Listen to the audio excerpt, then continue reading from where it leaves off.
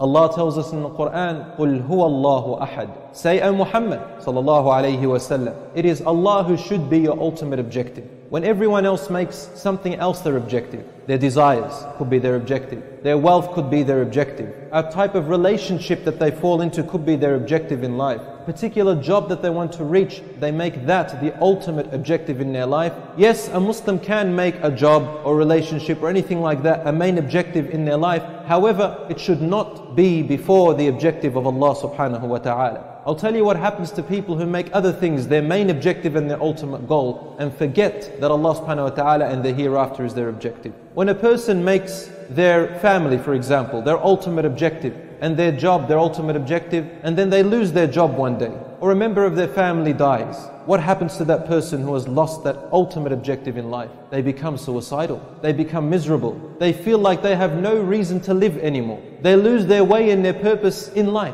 because that ultimate objective has gone. You find that person becoming miserable, angry at their parents, angry at their children if they have children, angry at their brothers and sisters, angry at society, angry at Islam itself. And when a person makes their role model other than the Prophet ﷺ, then when their role model, whom they have placed in his place, fail them, they also become miserable, they become unhappy. Brothers in Islam, when Allah subhanahu wa ta'ala created us, He put in us something very special and He valued you with that. The thing which He valued us with was the reason why He ordered the angels to prostrate down to your father Adam alayhi salam. And Iblis refused because he knew your value. This spirit or this soul which Allah subhanahu wa ta'ala placed inside of us is what makes us valuable and it needs to be nourished. And this soul has only one objective. Allah created it to have a very strong connection with Allah, its creator. When we nourish this soul, we have nourished our connection with Allah subhanahu wa ta'ala. When we nourish this soul, then whatever you lose in life, your wealth, your health, your relationship with someone, some members of your family who die,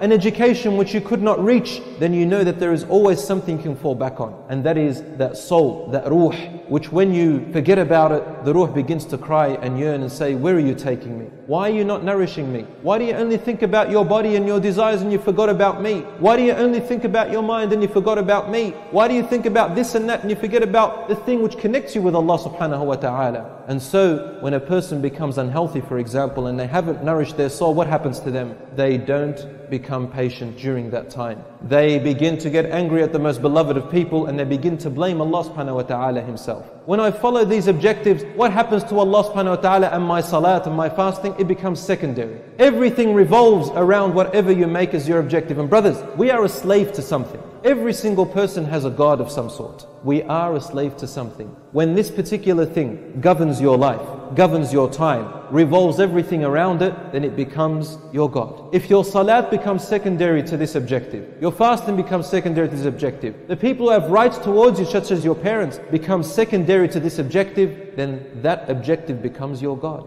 This is what governs your life. And you know what happens when a person makes a particular objective other than Allah, their purpose? On the day of judgment, Allah subhanahu wa ta'ala will say, Let that which you made your objective save you today. You know, we have a saying, we have a Ford company and a Holden company. They manufacture cars. And we say, okay, if a person worked for Ford, do you expect Holden to pay them? If you work for a particular company that is in competition with another company, and then you expect that other company to pay you, does that make sense? No, it doesn't. It's quite absurd. So when I work for someone other than Allah subhanahu wa ta'ala and His Messenger, then it's only fair that you expect the reward to come from them. And this brings to light a hadith of the Prophet ﷺ. And the Prophet ﷺ was speaking to a man named Mu'adh, a companion named Mu'adh ibn Jabal radiallahu anhu, where he said, and this is in Sahih Muslim, that on the day of judgment, a scholar and a donator of wealth and a person who died in the cause of Allah, apparently, will be called on the day of judgment. And each one of them will be asked, first of all, the scholar, what did you do with the knowledge which I gave you? And he will say, I did it only seeking your pleasure, my Lord. And Allah subhanahu will say, You are lying. The angels will repeat, You are lying. And then Allah will say, You only learned this knowledge and spread it so that people can call you a knowledgeable man or a knowledgeable woman. This is what your objective was, and you will only receive what you intended for. You have received it already. Then the person who donated their wealth, Allah will ask, What did you do with the wealth I gave you? They will say, I did it for your sake, O Allah. And Allah will say, You are lying. The angels will say, You are lying. You only did so so that people can call you a generous person. And you have received that which you intended for. Then the person who died, What did you do with the body I gave you? And he will say, Ya Rab, I died in your cause, seeking your pleasure, but Allah will say you are lying and the angels will say you are lying, you only did this so that people can build monuments out of you and call you a hero and you have received what your objective was for. As for today, you have nothing with me. So the Prophet ﷺ grabbed hold of the knee of Mu'adh and said to him, Ya Mu'adh, these are the first three people with whom hellfire shall be ignited.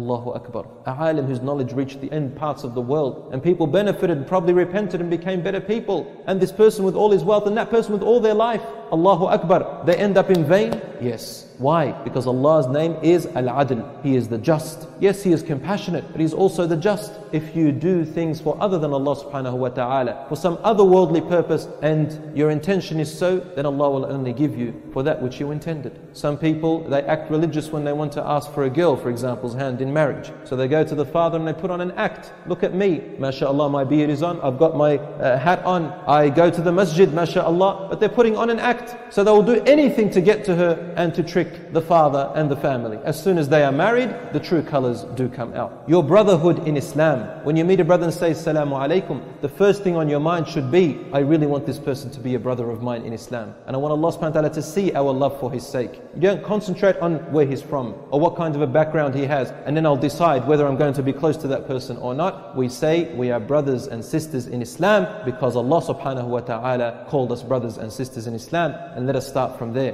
When I meet my parents and I feel that they're not giving me what I actually want or they're not understanding me, then I should remember that Allah subhanahu wa ta'ala is looking at my objective. Is my objective Allah subhanahu wa ta'ala and His Messenger? Yes, it is. Then therefore I'm going to respect them and deal with them and sacrifice my own needs in order to please them, inshaAllah ta'ala. And when I do any type of action, then the sincerity must be for the sake of Allah subhanahu wa ta'ala first and foremost. If you do that, then you'll discover what your identity is and you will know your purpose in life. All your education will be directed in that direction. Your work, your study, your sitting down at home, your spending of time on the internet, everything becomes fit to fulfill that purpose of making Allah subhanahu wa ta'ala your objective.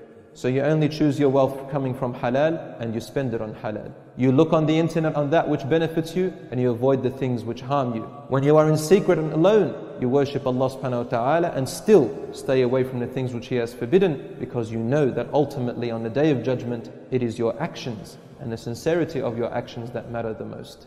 If you want to know what kind of a person you are, then look at yourself when you are alone, when nobody else is watching. Does your prayer equal the same value as when you prayed in front of people? When you make your dua to Allah subhanahu wa ta'ala, is it the same as when people are watching you? What kind of a person becomes of you when you are alone in the darkness and only Allah can see you? Is this a time to go to my desires and fulfill them? Or do I know that Allah subhanahu wa ta'ala watches me in open and in secret? Make your intentions clear. Make your sincerity clear. Make Allah your objective and Allah promises you happiness in this world and in the hereafter.